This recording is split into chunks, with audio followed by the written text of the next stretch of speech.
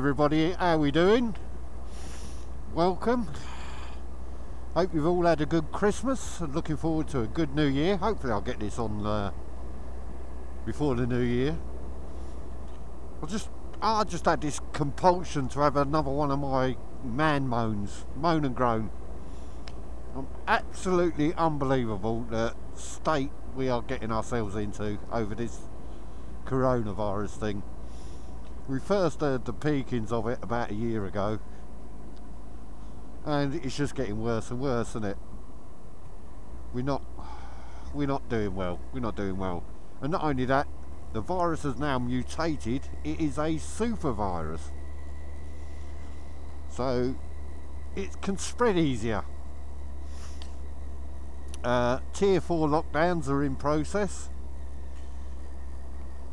Salute the ambulance tier 4 everybody's going up a tier um, southeast yeah southeast yeah. Southeast of England's in tier 4 I think all of East Anglia's in tier 4 everybody's on high alert. And even over in tier 4 the infection rate is still going up. Go figure. Hello hello hello. Where you been then so, uh, so things aren't looking good for us. But there we go. And who likes blithering Boris, eh? Oh my word! Whenever he gives one of his speeches, I just get the. I just want to switch telly off. He just blithers. And do yes, but blah blah blah blah. No, no, talk in sentences coherently, Boris. That's what we want to hear. Take lessons from that Scottish woman, Sturgeon. She can really talk. She can captivate you, and uh, yeah, she gets her point across very clear. Very good. So Scotland, you got the right one there. We, us, we got Boris. And I'll apologise to the Welsh because I don't know who their premier person is. But uh, Nicola Sturgeon. Nicola Sturgeon, is it? I think, yeah. She really knows her stuff. They got Nicola Sturgeon. She's very precise, very accurate. Gets the point across. No grey areas. This is what it is.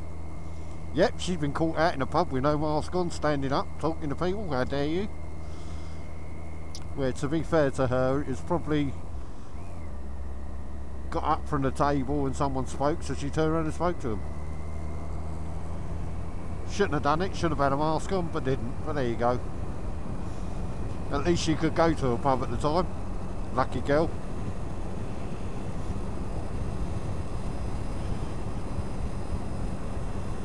But bless her, she gets her point across, and we got Boris. How lucky are we? Oh, Boris the Bliverer blithering Boris. I really can't stand a man when he tries to give one of his lectures. It just reminds me of like a, a Trump standing there denying he lost the election. It's sort of like, can you believe a word that's coming out of his mouth? So anyway, yeah, you're all in tier 4s. Those that aren't in tier 4 are in tier 3. Don't worry, you're going into tier 4 soon. Uh, Christmas Day, you couldn't go see family. New Year's Eve, which is today, very early New Year's Eve. Uh, yeah, you can celebrate New Year, but let's not ruin it. So stay at home. But are people getting the message? Is well, people are obviously getting the message, but are they going to adhere to it? I see so many now that have got complacent over it all. It's not going to happen to me, I'm alright. Guess what? It will happen to you or someone you love. Uh, hospitals are claiming 40% more patients than during the first lockdown. Well, I don't know what to say about that. You know, hospitals are getting very, very busy. You're supposed to stay at home to protect the NHS to stop them getting this busy. so then they can actually deal with emergencies. Ambulances queuing up, dumping patients, long waiting times and everything else. Well, well done the UK, you've really, really helped these people out by uh, becoming complacent. But there you go, human nature, that's what you're going to do, innit? Don't worry about it, you're alright. Until you need some of this. Anyway, yeah, so me having a proper moan on this very cold minus three morning why am I on the bike? Uh, because when I get to work there's nowhere to park. Am I cold? No, not really. I've built up a plethora of gear and experience that I know what's what now. Got my heated jacket on. And yes, it is plugged in and switched on. got my thick winter gloves on this time. The motorbike's got heated hand grip, so that takes the chill off of that. I haven't yet got the heated insoles or the heated inner trousers.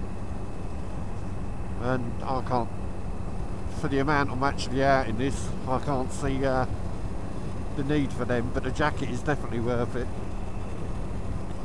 So, I might do a review on it actually. It's a Keis. Keis, is that how you pronounce it? K-I-E-S-S? Keis heated jacket. They range from about 180, 190 quid. Um, you can get battery packs for them. Mine's wired directly to the uh, the motorbike. Uh, it's got three settings. Uh, low, like I've got it on at the moment. Medium, which I call a bit hotter. And high setting, which is, oh fuck me, that hurts, turn it down.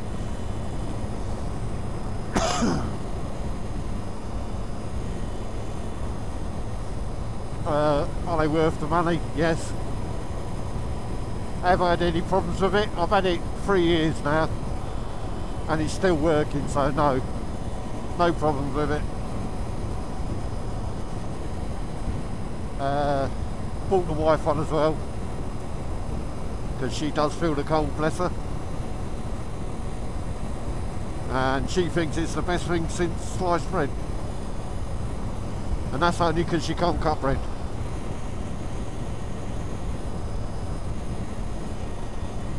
I don't really want to change lanes, but there you go.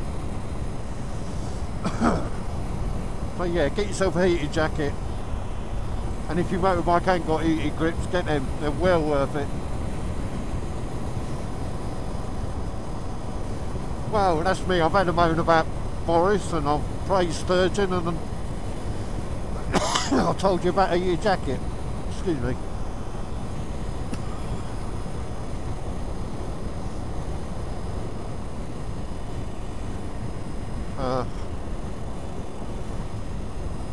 I'm hoping you'll have a uh, very good new year, very safe new year. I'm hoping you've had a very good and safe Christmas. And they reckon uh, the virus is going to be out there and done, everybody done by about Easter. Easter is that April or May this year? I don't know. May I think. So we've still got another four months of this yet. Are we going to be in lockdown the whole time? Uh, probably not because they can't let the economy go that way. So they're going to let you all out while they're rolling out the viruses.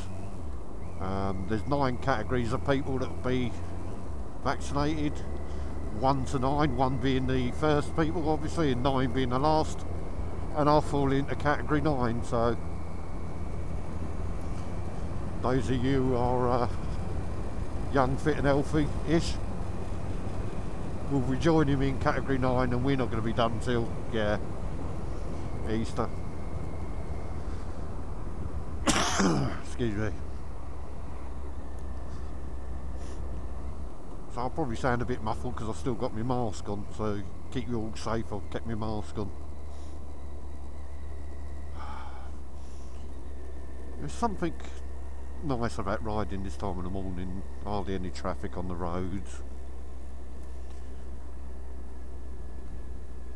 Being able to uh, not have to think too much, get taken out by a dust lorry.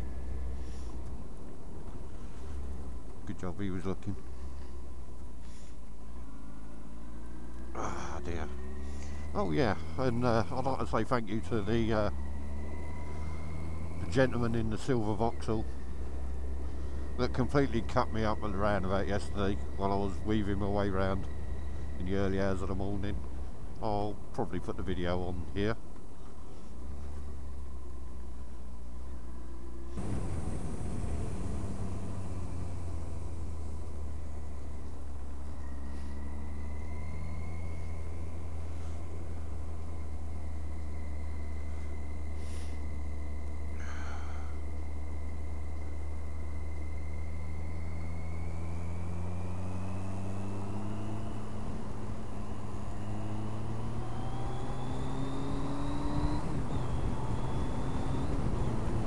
Oh, well, very nice, was it? So yeah, thank you very much to him. That was very courteous driving of you. Bell end. But there you go. Well, thank you all for watching. Uh, I'm going to say it, but I don't really mean it. if you like the video, hit the subscribe button, hit the bell or whatever it is. Come subscribe and listen to more of my uh, old man moans. Hopefully I'll be able to put some actual biking videos on this year. We'll be able to get out and get ourselves some uh, motorcycling done. You never know. Stranger things have happened. Well, take, quite, take care all. All the best. Happy New Year. And let's hope 2021 is better than 2020. Bye for now.